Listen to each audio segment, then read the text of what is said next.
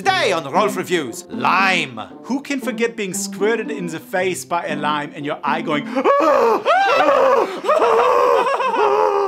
It's one of the great moments of life. Yeah.